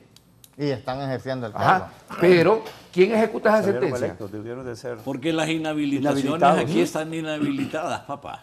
Sí. Bueno, entonces todo eso hay que estudiarlo. Solo para cerrar un tema, por la inquietud de los compañeros diputados de Netzer y, y de el compañero Hernán, en el presupuesto que vimos, el, el grueso del presupuesto, que son los documentos electorales, son 435. Si ese, si tuviéramos, como se ha dicho, que definitivamente no va a haber voto electrónico, ese presupuesto de 1.500 sería mucho más solo para el voto electrónico. Es para que miren la dimensión. O Pero sea, si eso te, te garantiza, Marlon, que realmente vos sepas que los liberales eligieron a un candidato, que los nacionalistas eligieron a otro y que el libre eligió a otro, ¿no sería Ahora, solo- justo y necesario ahora- garantizar que realmente sea el pueblo hondureño? Ahora, ¿no te llama la atención que países Es que no le garantiza nada. Sí, no te- es al revés, es más manipulable todavía. No le garantiza nada. Mira, Sí, exactamente. Eh, Entonces solo ponerte a pensar, ¿por qué Alemania había ido al voto electrónico y ahora ya no lo tienen? Es- es- es simplemente. Habría- ¿Sabe cuál fue el tema de Alemania? Ajá. Que pierde su secretividad.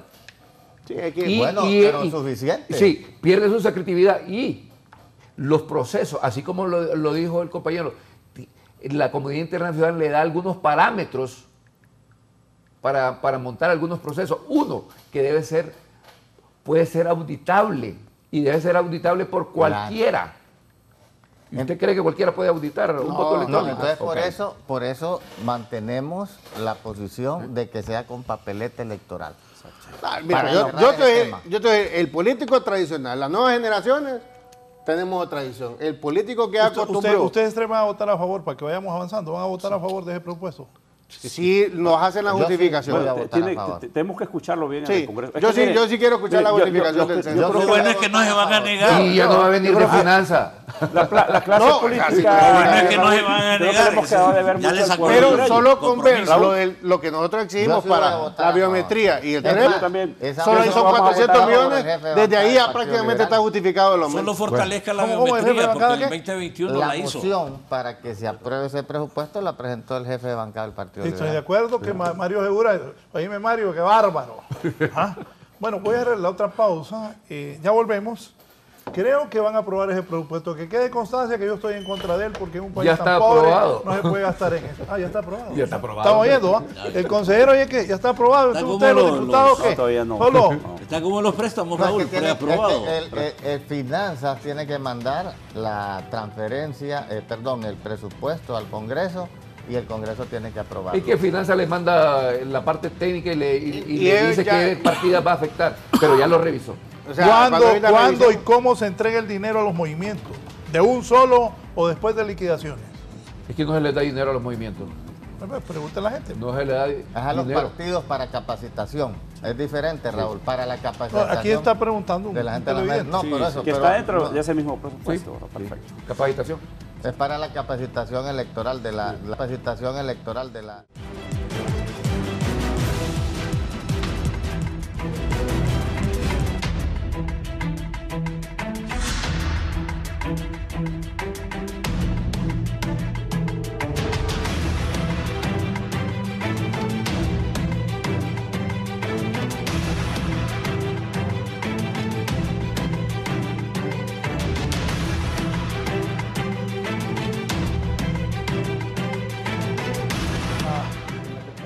Bien, continuamos. Uy. Bien, aquí están hablando de contada de votos. Tengan cuidado. Entonces, eh, ¿qué piensa de lo que lo sondeé y lo sentí que van a No, votar a favor? como los préstamos que dan las instituciones bancarias, ya está preaprobado. ¿ah? Solo falta... Y, y en realidad, pues, no es que no van a aprobar el presupuesto, saben y están conscientes que deben hacerlo, pero les decía yo cuando nos fuimos al corte comercial, bueno, hay que exigir probidad, ¿verdad? Porque tampoco es abrir la chequera y La rendición de cuentas. compren todo, rendición de cuentas, el otro tema. Y yo sí creo que si hay un ajuste eh, en esa probidad de reducir el 30% de ese gasto, Voy, voy a una pregunta aquí. Puede que- haber otro. Que me lo dejaron los muchachos de producción. Si estos 492 millones de lempiras fueran parte para adquirir un equipo que también se va a utilizar en las generales. Sí, sí. sí debe. Sí, todo, todo Debe. lo que, todas las compras de suministro, algunas compras de suministro quedan para las generales. Digamos, tenemos que, que comprar, por, por citarle un ejemplo, Urnas. eh, urnas, computadoras, todo eso queda para las generales. Que después se Y dona. las urnas que se utilizan en los procesos anteriores Esa, También. pregunta, esa misma Son pregunta le hacía, o utilizadas. sea, Sí, sí, son reutilizadas. Es más, nosotros seguimos utilizando urnas que dejó el Tribunal Supremo Electoral. Solo les pusimos una viñeta que dice CNE. que- que dice CNE. Sí, se reutilizan. Todo el equipo se reutiliza. Por eso se hace un inventario, porque también en el, con el tiempo hay. Pero nos quitaron la curva de Baxon, más y las mandan con la curva de Baxon, nos abordan, nos preocupa. No, no, porque esa curva la ponen los partidos, los partidos al interno, porque van a primarias ahorita. Ahorita no, no, no, no, no se da la curva de. No, y- Lo que yo espero realmente, y yo pienso que el pueblo hondureño es que le garanticemos realmente que sí eh, estamos fortaleciendo la, la democracia. Le hemos quedado de ver mucho la clase política al pueblo, ¿verdad? Y vamos a ver, a ver si, si no se ve reflejado en estas elecciones internas el flujo de, de- de votantes, a ver qué tanta credibilidad tenemos la clase política. Acuérdense que el CNE está conformado también por, por políticos, ¿verdad? Eh, eh, ya va, correcto. creo que va a vacar, creo que Julio Navarro y también, ¿cómo se llama? Eh, Kelvin Aguirre. Kelvin Aguirre, ¿verdad? Ya, ya lo suple, ¿cómo se llama? Marlon Ochoa y también... José eh, López. eh, José López, así es. Entonces, eh, eh, está conformado por, por- por políticos, inclusive el, el- el CNE. Pero sí le hemos quedado de ver mucho al pueblo hondureño. Miren, hay más de 500 mil jóvenes que van a, están listos para poder ejercer su, su sufragio y vamos a ver que Por realmente... primera sí- vez. Por primera vez. Vamos a ver si realmente nosotros... Solo lo interrumpe, me dice un televidente, para capacitación, ja, ja, ja. ¿Y cómo controlan cuántos fueron capacitados y la calidad de capacitación? Esto es un tremendo desastre, una verdadera pena. No, y terrible, pues, o sea... Pero la que- cantidad que, le dan a los partidos para ese proceso no es una cantidad. Yo me recuerdo que el año pasado en las elecciones internas lo que le adjudicaron al Partido Liberal, porque hay que hablar, no es a las corrientes, fueron 7 millones. Eso fue para capacitación. Sí, se le, se le da un y eran tres corrientes. Porcentaje de acuerdo Eh, de- es un porcentaje de conformidad, la ley ya le establece qué porcentaje se les da para capacitación. Que, que usen, y es más, se les pide, allá hubo un problema, que se les pide después una liquidación sobre esos recursos. Hay que presentar los listados de la gente que capacitaron, lo- los, hoteles que utilizaron, Contrataron, contrataron, la alimentación que contrataron, y todo eso tiene que Para justificarlo. mí esa parte es bien importante y es lo que yo le decía, o sea, tiene que involucrarse el CNE en la capacitación de las personas que van a ir a las mesas electorales, porque eso es lo que garantiza la transparencia en el proceso. Para llegar más eh, con, con mayor eh, facilidad a, a todos los movimientos y, y a todas partes del país es que se le pide que mande sus instructores, se instruye a sus instructores y se les da el material de capacitación, los cuadernos, eh, los afiches, todo el material se les da. Me dice don Lenín Mendoza, buen día, licenciado, espero esté bien. Fui candidato a alcalde de El Paraíso, El Paraíso Liberal. Y las capacitaciones a los miembros de mesa, los gastos, los erogamos nosotros a lo interno. Atentamente, Lenín Mendoza. Eso es un reclamo ya para el partido. ¿verdad? Claro. eh, Que no tiene le hizo llegar recursos. Exactamente, habría que ver por qué no tuvieron que afrontar ellos eso. Es una, es una buena denuncia que están haciendo, yo, porque si al partido le dieron dinero y el partido no lo entregó a los diferentes municipios, pues ahí tiene que ver el CNE qué fue lo que pasó. Bueno, también acuerde que los partidos tienen su propia estrategia, ¿verdad? con tal que eh, nos pueda liquidar el uso de los recursos. Ya queda, y creo que ahí, por eso les decía que hay que trabajar al interior de los partidos, democratizar los partidos para evitar ese, esos comentarios. Partamos de que va, Denis, que van a aprobar ese presupuesto, que es lo más seguro. Para que no se lo roben, ¿qué hay que hacer? No, hay Para que que no se lo establecer... roben una buena parte. Hay que establecer mecanismos, reitero, el tema de la probidad, el tema de pedir la austeridad necesaria en el sentido de al menos un 30% de ese valor que hemos eh, tenido en este momento, conocimiento. Y eh, el otro tema, eh, ¿cómo trabajar en el futuro? No para hoy, ¿cómo trabajar en el futuro para que los presupuestos electorales sean sostenibles en el tiempo?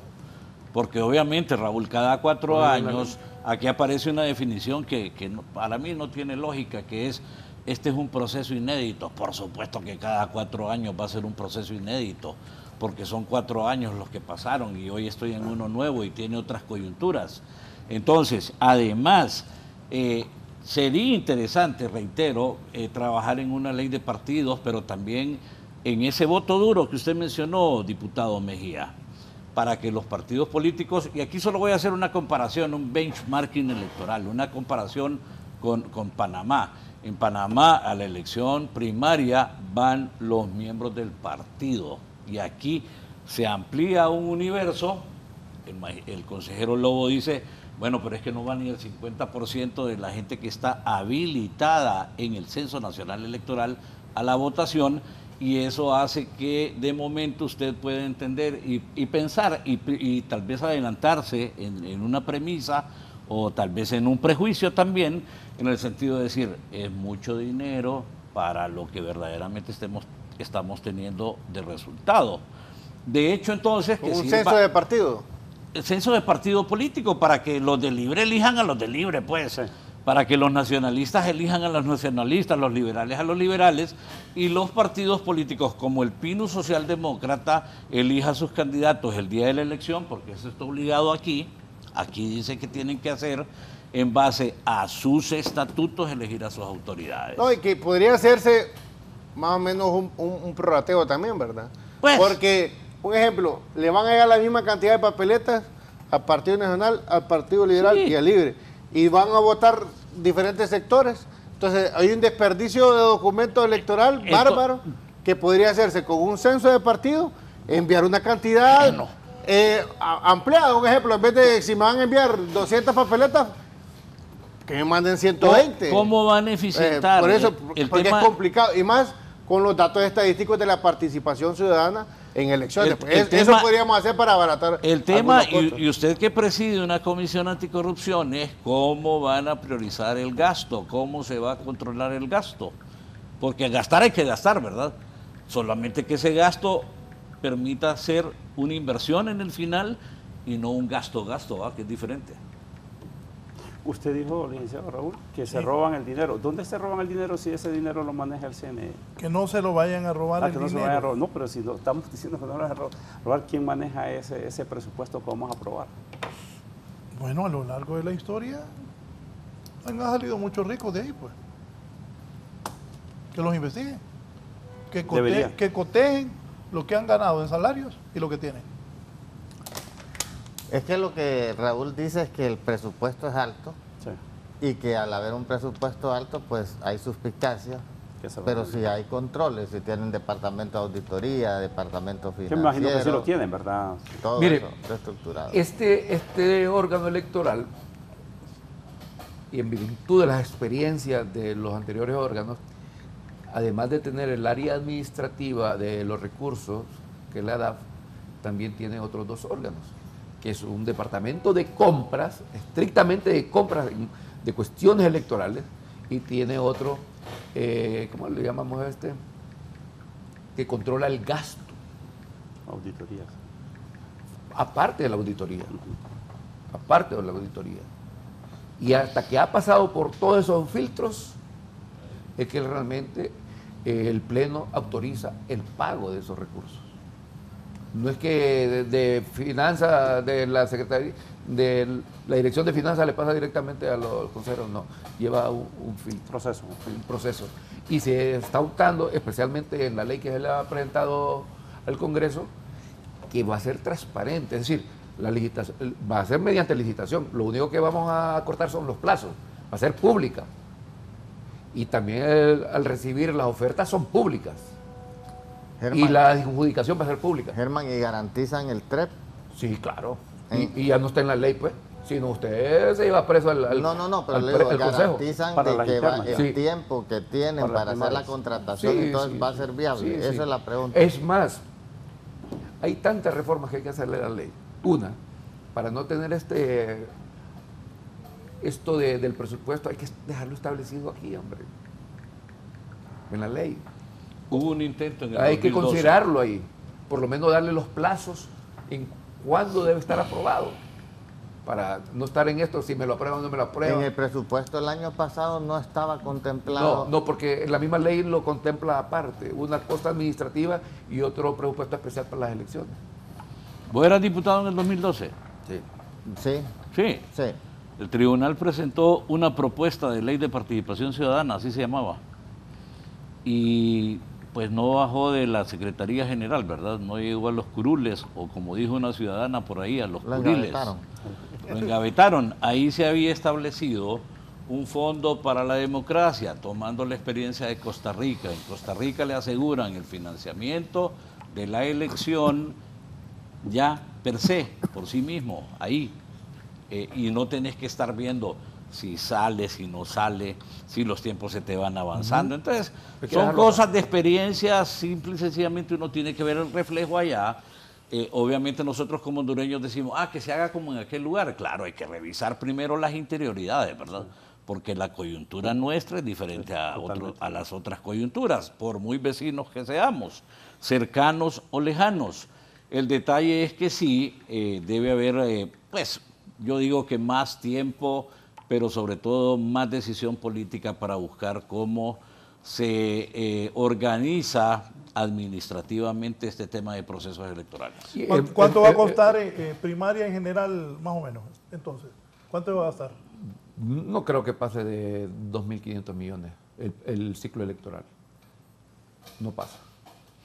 Ajá. Mire, volvemos otra Solo vez. lo Mire, quedo viendo y eso. Mire, mire, también Sí, hay que hacerle, hay que hacer una reforma a la ley electoral para abaratar costos, abaratar costos, porque aquí quedó amarrado en el 278 que el Consejo no puede desarrollar el programa de, de escrutinio o de transmisión de resultados, porque ya lo manda que tiene que adjudicar cuatro meses antes de las elecciones. Y si lo abrimos, que lo reformamos o lo abrimos, dejémosle la opción que también lo pueda desarrollar, podemos desarrollar algún sistema con la cooperación internacional. Entonces, hay que darle viabilidad también, porque cuando se sientan a ponerse candados, nos miran el costo que ese candado nos puede costar en el futuro. Cuando asumen las nuevas autoridades, la abogada Cosette López va a representar al Partido Nacional. Cosette, que fue la secretaria municipal con una buena profesional, y también el actual ministro de Finanzas, Marlon Ochoa, a quien vi hace poco, va a asumir por el Partido Libertad y Refundación. Queda la actual presidenta del Consejo Nacional Electoral, la abogada Ana, Ana Paola Paola. Hall, que es representante del Partido Liberal. ¿Cuándo asumen Ochoa y, y José López? Nosotros vacamos el 10 y ellos llegan el 11. Sí, dos días después parece de, de la convocatoria, Sí, ¿verdad? Ellos llegan, eh, ya toman formalmente posesión el, el 11 de septiembre. Y la convocatoria es el 8. Bueno, ya nuevas autoridades, comentarios, Marlon. Bueno, eh, como ah, demócrata y acostumbrado a vivir en, en un proceso donde la participación del pueblo es valiosísima, debo asumir el costo de vivir en democracia y yo creo que no nos debe dar pesar en un proceso electoral donde la participación de la gente es la que va a definir quiénes son las autoridades que nos van a representar en los partidos, quiénes son los que van a optar cargos de elección popular, porque la elección interna para mí es la principal, porque es el filtro, porque en las elecciones internas son los, donde se definen los candidatos. Si no existe, hay mucha gente que a mí me decía antes, no, yo a las internas no voy a votar, pero ¿por qué? Si es la principal, es, la, es, es el filtro que se pone para que salga la mejor gente. Entonces, debemos de promover Es la primera vuelta. debemos de promover mayor participación. Eh, y yo no sé si en ese presupuesto hay partida presupuestaria para motivar a la población a asistir a los procesos electorales. Sí, ya sí, como una en campaña- comunicaciones. Ya está Sí, establecido. está establecido el área de comunicaciones. Porque yo creo que a mayor participación de la población en los procesos electorales primarios, eso fortalece la democracia, porque prácticamente ya la gente queda comprometida a ir a votar a las elecciones generales. Eso me, me- me agrada saber de que, porque yo me recuerdo en algunos procesos que de parte del AIDE se apoyaba al en aquel tiempo el Tribunal eh, Supremo Electoral. Solo te interrumpo. Ajá. Ínfimo Comunicaciones, un millón.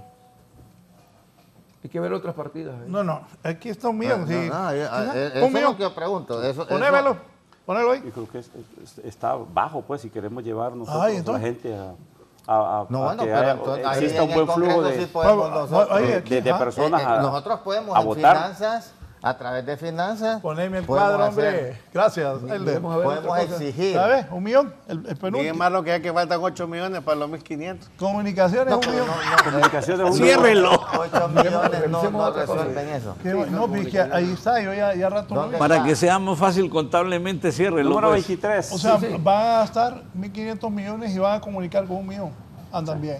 Está No. bien distribuido. es como- No, ahí, ahí es donde hay O que sea, hacer ¿cuánto, la cuánto, cuánto cuesta anunciarse en un medio de comunicación? Un anuncio, un anuncio aquí de 30 segundos, negociado cuesta 30 mil empiras. Eso. 30 segundos. ¿Se imagina? Y que esté O sea, pasando... que un, un millón son diario. 30 anuncios. Sí, no es nada. No es nada. O sea, eh, eh, eh, Germán, esa era, Ese es un tema, mira, Sí. a discutir. Sí, porque en, la- eh, en las elecciones pasadas nosotros te- tuvimos una inversión de 7 millones. No es nada. En Y- y, comunicaciones. y- y eso ya no, se nada. puede modificar ese propuesto. Sí, se lo pueden modificar. Ustedes. ¿Ah? Ustedes Bueno, pero, Ustedes le pueden poner los 8 millones que restan. pero es que no, Pero a los pero, 500. pero, pero ¿por qué tomaron esa decisión de un millón en comunicaciones? no, O ahí sí son- desconozco el argumento. Son valoraciones, diputado. De igual es una O, o propuesta. puede ser, o puede también, hay que, hay que ver, Bueno, no, porque hay- la no, cooperación igual- internacional ayuda en No, eso. por eso te digo. Eh, yo me PNUD. recuerdo que el AIDE en aquel momento emprendió a través de la MON exigiendo, eh, eh, como, no exigiendo, sino que, sino que motivando la participación, pero aquello estaba focalizado a las alcaldías municipales, de que hubiera mayor participación. Bueno, también los partidos políticos de manera interna tenemos que motivar a, a la, No, no, a la hay- población. hay-. Claro, pero si tenemos un presupuesto bastante alto, hay que sumarle un poco más a ese, a ese, a ese párrafo ahí, pues. Sí. Eh, Ahora, pero redistribuirlo. Redistribuirlo mejor, son- exactamente, ah, mire, sí. lo- Aprobada la ampliación. Mire, ve, lo ya, que- ya está aprobado los 8 millones para Lo que comunicaciones. estamos hablando nosotros, porque vaya, digamos, yo lo miro en México. No, o- ojo, Antes de no, la, elecciones. la verdad, Marlon, de verdad, eh, no sé quién elaboró ese presupuesto, pero no sabe nada mucho porque un millón en comunicaciones es una elección que le van a dar. El 1500. pueblo tiene que estar No, informado. imagínate que no haya motivación para ir a votar, que sí la va a haber. Entonces estamos gastando 1.500 con baja participación. Entonces, Eh, la motivación a la participación debe ser un ingrediente importante de este presupuesto. Eh, eh, sí, para el, periodo pasado, para el periodo pasado se manejó comunicaciones a través de una empresa, ¿verdad? Hasta sin solicitación y costó alrededor de 7 millones. Es que así es, Sí. tienen que hacer una Sí, licitación una y que una empresa maneje la campaña publicitaria del Consejo Nacional Electoral Bueno, y- que va a convocar a elecciones internas. O, o puede ser que, que- que haya algún algún convenio ya con el PNUD de que, la- que les de diga, que algo? va a Le- les voy a ese- ese mencionar un punto importante. Ustedes saben que hay muchas personas que eh, se trasladan de una ciudad a otra. No se dan cuenta que para poder votar en esas ciudades donde viven tienen que hacer traslados domiciliarios, ¿verdad? Sí. Hay mucho desconocimiento de los ciudadanos y acaba de iniciar los traslados domiciliarios. Finalizan Pero 24. no hay una campaña masiva de parte del órgano, que en este caso es el, RNP. el RNP, para explicarle a la gente que tiene que hacer su actualización domiciliaria. Entonces, Mandan comunicados, pero no es algo como que ¿Qué es lo que yo más digo? Yo, visible por pues, en radio y televisión. Miro muchos canales de, de México. Ahorita, antes de las elecciones, había una campaña de parte del órgano invitándole y diciéndole a la gente qué era lo que necesitaba para poder eh, ir a las elecciones. O sea, es una campaña oficial. Eso debe ser parte de ese Sí. presupuesto. Eso es lo que yo ya eh, No, quería Que observar. lo vamos a discutir en el Congreso y lo podemos Ahora, modificar, ¿verdad? Sí, Claro, ahí porque- le suman los otros 8 millones. Otros No, siete mire, millones para- más. No, es que aquí, mire, el tema del presupuesto, como yo aquí sí puedo compartir con, con todos los panelistas, es necesario para poder garantizar democracia, participación ciudadana. Pero sí eh, podemos hacer una redistribución, bueno, no sé si hay tiempo, pero sí podríamos abaratar costos, como lo que tuvimos en esta plática, en, con los censos de partido, con, abarataríamos cuánto dinero, mira, hay 435 millones dirigidos a papeletas electorales, que se puede abaratar un buen porcentaje de dinero si realmente manejáramos un censo por partido y evitáramos mandar las 200 papeletas por urna. No deja crecer su Es partido. una reforma entonces, si lo hace con, con consenso cerrado, no, no deja crecer su partido. No, Tendría no es censo hacer- cerrado. Por eso le digo, un ejemplo, si su censo de partido es de, es es de un millón, va, es de 500 mil, entonces usted las papeletas va a mandar un número mayor, no va a mandar los 500 mil cerrados, para que permita al ciudadano participar. Sí, porque usted me dice, si no está en el censo de partido, entonces ¿cómo participa el nuevo que quiere incorporarse libre? O al Partido Liberal o al Partido Nacional, no podrían participar. Pero sí podría hacer un, porra- un prorrateo de cuánto es la cantidad de participación que hemos tenido en las últimas elecciones de manera interna por urna, esos, datos los maneja el CNE, y decir, bueno, ok, libre en tal urna ha tenido más participación de 50 participantes, pues no, vamos a mandar 80 papeletas, no las 200, porque se pierden 150. Entonces, este tipo de, re- de revisiones sí podrían hacerse. Sí se hace. Sí, podrían hace. hacerse para evitar que algunos renglones presupuestarios estén tan altos. Hay renglones como para mí el del TREP y el otro de eh, lo biométrico que no se pueden tocar si Una- ya, ya están estudiados, pero hay otros sí que Una redistribución mejor, porque no va a ser la gente, pucha, no le ajusta a 1.492 millones. Sí, Buscando porque abaratar incrementarlo, algunos- ¿no? O sea, Siempre, siempre- siempre- no el presupuesto usted, usted sabe que por eso se llamaba un proyecto. No, pero, pero Sí, ustedes siempre dos que tienen solo- eh, eh, experiencia electoral, ¿verdad Quiero que es una, ¿Ah? es una deficiencia de que haya tan poco dinero? Raúl, vos que sos experto Sí, en no. Quiero ir a Denis, que a ver qué dice Denis. Vaya, pues, ¿Cómo so- decís? démosle. Ajá, de todo esto. No, eh, insistimos en el hecho de que es un proyecto de presupuesto. Que el Congreso Nacional lo puede modificar, lo puede modificar. Pero insistimos en el tema de, en el tema técnico de este asunto de elecciones primarias es transparencia e integridad electoral. Que el presupuesto, que el abaratamiento de costos eventual, ¿verdad? Porque puede ser que no se dé, sea verdaderamente como una inversión y no como un gasto, señores. Y en ese punto eh, ya dijimos, lo vamos a decir por tercera ocasión, hay que asegurar que exista austeridad, que exista probidad, que exista rendición de cuentas, que exista auditoría, pero no bajo el principio aquel que se dice en la calle, ¿verdad? Los conejos no se ponen a cuidar las zanahorias, sino verdadera auditoría, señores. Eh, porque finalmente esto es dinero público y el dinero público debería, la elección, el gasto, el gasto debería ser de conocimiento público, porque es dinero público, a pesar de que las elecciones primarias son para los partidos políticos, porque es financiamiento público, el financiamiento es de todos y cada uno, incluidos cuatro a cinco de cada diez hondureños y hondureñas que no tienen partido político. Ese es el gran problema. Entonces creo que aquí el reto es cómo se trabaja desde los partidos políticos por ver cómo se hacen procesos electorales que sean sostenibles cada cuatro años y que sean sustentables también en el sentido del financiamiento. ¿Qué, qué visualiza después de esta plática? Bueno, eh, comparto también de que debe haber una auditoría. eh, muy delicado estar eh, tocando fondos públicos, pues, y que el pueblo hondureño no le demos los resultados. Este dinero debe ser invertido, ¿verdad? No, que no se considere que es un gasto, sino que una inversión. Y eso lo, se va a demostrar en las próximas elecciones internas, el flujo de votantes que lleguen. Qué capacidad tenemos nosotros de llevar eh, la gente a las urnas. Y veíamos en el presupuesto, y es lo que estábamos discutiendo nosotros, que no, no existe ese renglón suficientemente cargado ahí con el presupuesto para poder decirle a la gente, vayan a votar. Y eso eh, tenemos que hacer hincapié nosotros el día que, que se nos presente, que agenden el- la discusión de este presupuesto en el Congreso Nacional y que lo vamos a hacer con mucha responsabilidad. Y esperamos que ese día esté lleno el Congreso Nacional, ¿verdad? Eh, porque realmente el pueblo merece, merece algo diferente, algo mejor. ¿verdad? Eh, le, hemos quedado le hemos fallado, le hemos quedado de ver al pueblo hondureño y hay que hacer las cosas mejor, hay que hacerlas diferentes. Es un presupuesto alto, considero que es alto, pero si vamos a fortalecer la democracia, vamos a apostarle, ¿verdad?, de que, que vamos a votar a favor de ese presupuesto. Eh, algo diferente que va a pasar es que va a existir el TREP en las, en las- en las internas primarias y también eh, aquello de que en aquella aula por allá están los de libre, en la otra están los li- liberales, en la otra nacionalistas y usted anda de au- aula en aula votando por los diferentes partidos.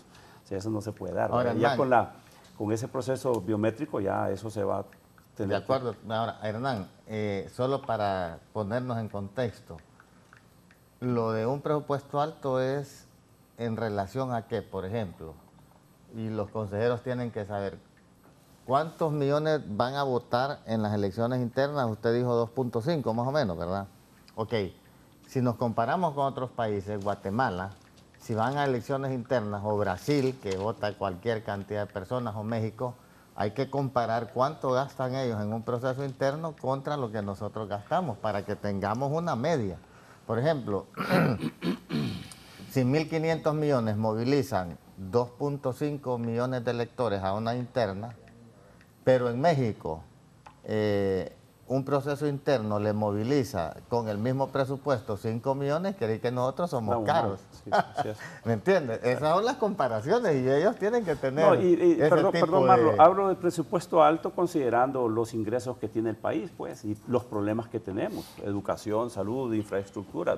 Si lo vemos Sí. en todo eso, vemos que está un presupuesto alto. Yo también lo veo igual, así como lo Ahora, ve el ellos licenciado tienen, Raúl. ellos tienen la comparación. Si yo le pregunto. Lo, lo- lo que sucede en esto, Marlon, es lo siguiente, que el encanto de atraer el elector es de ustedes.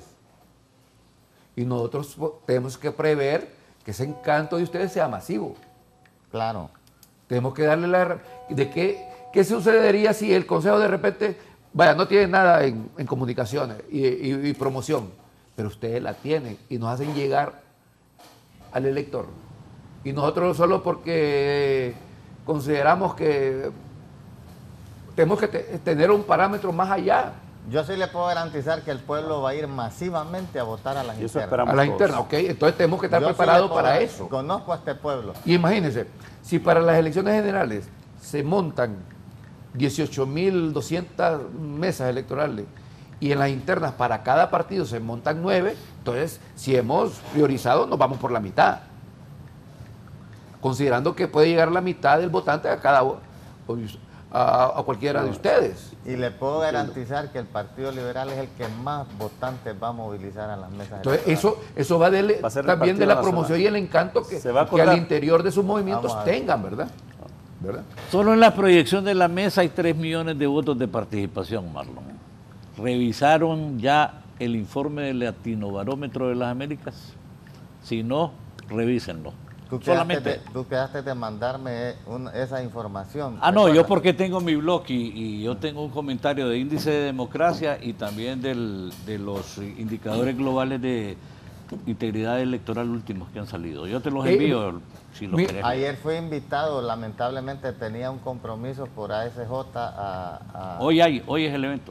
Ahora es. A las Mire, 10. Vaya, Ah, entonces. sí. Miren, miren, las últimas elecciones, las últimas tres elecciones casi se, ha mantenido de 3, de, de 3.2 a 3.3 electores en elecciones generales.